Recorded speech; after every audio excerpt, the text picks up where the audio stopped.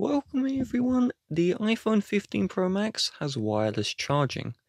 To use this, you need to have a either Qi wireless charger or a MagSafe wireless charger.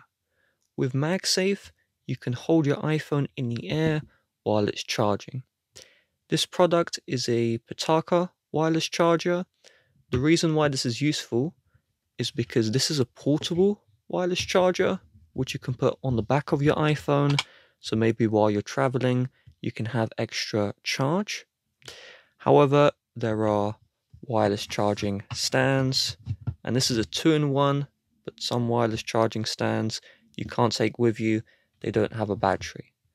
And so you just place your iPhone on the wireless charging. If it does not have magnets, make sure that the iPhone is in the middle, and you can see well you can't see there. There we go. You can see that the iphone is now charging.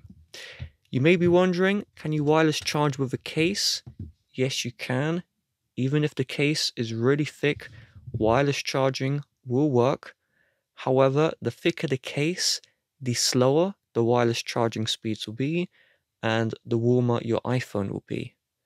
I would recommend for the best wireless charging performance you get iphone cases which supports MagSafe and you get MagSafe wireless charging. With that being said, if you would like to help support the channel, please do check the description. Bye bye.